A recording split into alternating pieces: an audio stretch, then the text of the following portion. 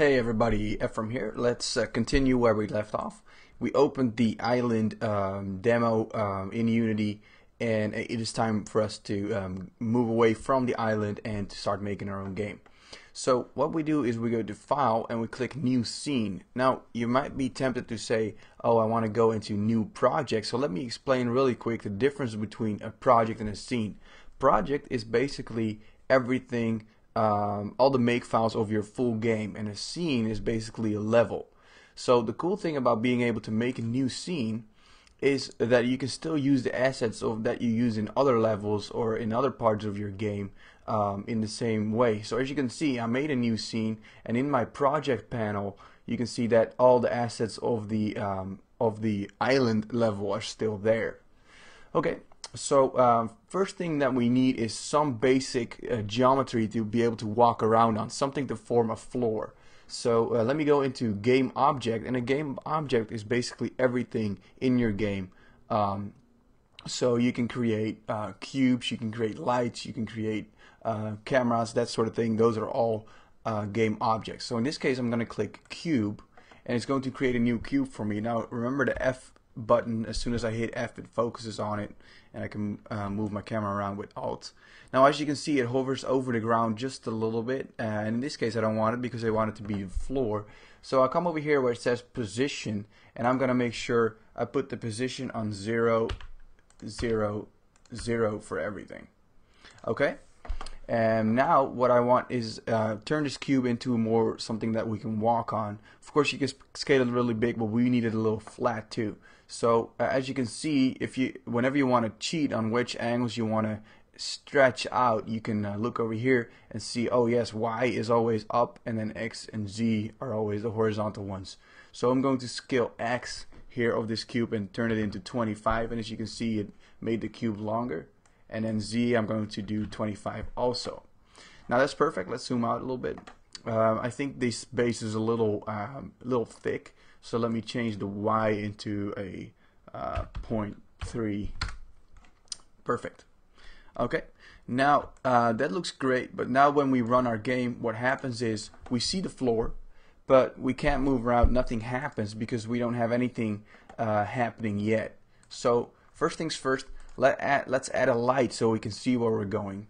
To go to game object, hit create other and then a point light and it will create a light right on top of our floor here. And it's a little close to the floor. That's why you have this big white blurb. So I'm gonna move it up a little bit. Then change the uh, range to something around 40 uh, maybe 30 perfect. Then I'm going to move the light a little higher. That looks a lot better right there so now if we run the game, you can see, okay, we can see the floor now a little more clearly, but we still can't walk around. So that's the next thing that we'll do.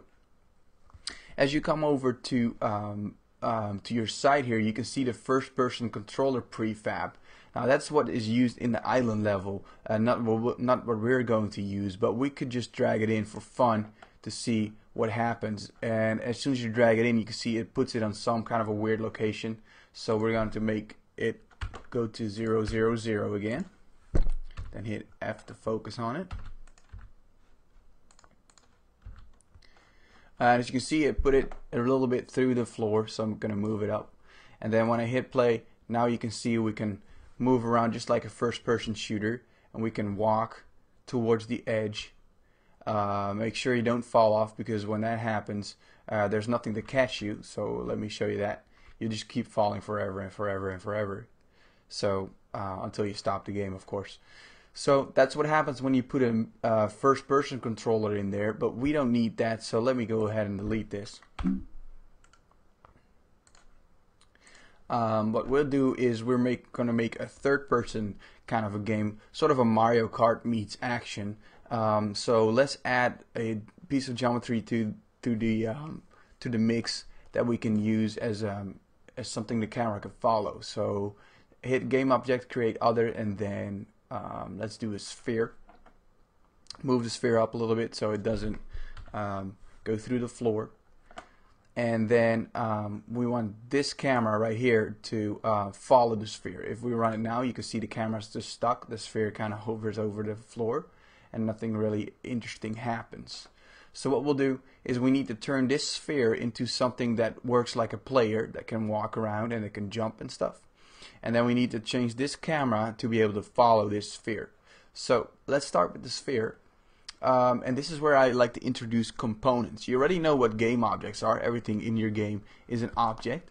But components are things you can add to a game object. So if you go up to components and click, uh, you want to add some physics to it and then a character controller. As soon as you do that, uh, you just say add or replace here. It adds a character controller to uh, this sphere and now it can function around as a character.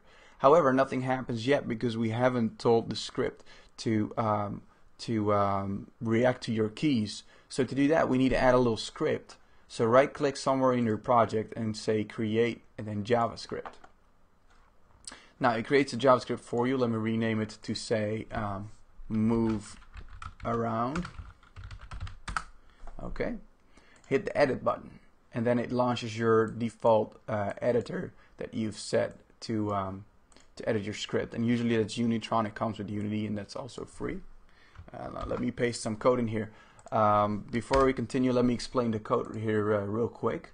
I'm basically making two variables. One is the speed that the character can walk around with, and one is the speed that he rotates with.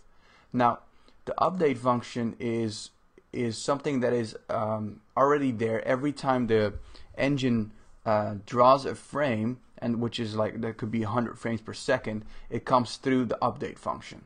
So that's already set for us. Now what we do is uh, in the update function we we tell it to um, listen to the uh, to the character controller and move the character around uh, with it.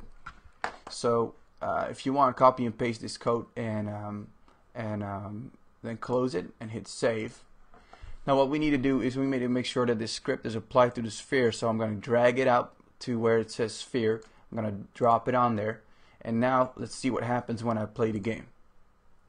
The sphere falls because it's a character and the character is usually on the ground and when I start moving it around it uh, it actually moves into the into uh, the direction it's facing which is pretty hard to see with a sphere but also it's not very awesome yet because the camera is not following it so all we need to do to fix that is to go uh, into our project panel and hit search and look for um, smooth follow now this script already comes with the island demo, so we just drag this script out and drop it on top of the main camera. Then click the main camera and you see that it is added here as a component to the camera. Now the smooth follow uh, script is already there. We still need to set what it needs to be followed by setting the target. So we just um, drag the sphere out onto the target, drop it, and now when we run our game, boom, as you can see the camera follows all of the ball around and we can rotate and walk around with the cursor keys. Um, there's no jumping in this one yet, but it does walk around a little slow. We can change that. Um, go to the smooth follow script here and say, um, I'm sorry, not the smooth follow script. Click the sphere and then go to the move around script and set the speed to something like 7 or 8. Let's see if that's better. Yeah, that's a lot faster already. Perfect. All right. Um, now to make make sure that we can see if the ball is actually rotating or not, uh, this sphere, we could give it a texture. I usually start with making a game with spheres and balls, and it looks very primitive, but it's a great way to shape the gameplay. And later you can add all kinds of art to make it look really sick. But usually when you start with art, it distracts from actually making the gameplay work. So in the next um, in the next tutorial next week, we'll look at uh, adding some art and um, um, adding some action to it. All right, this is it for now. Uh, see you next week.